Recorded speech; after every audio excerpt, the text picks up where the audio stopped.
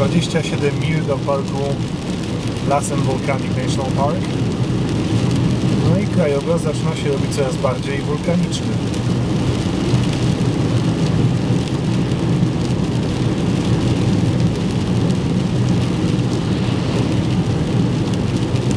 Troszkę mniej pada niż poprzednio, ale dalej pogoda jest brzydka.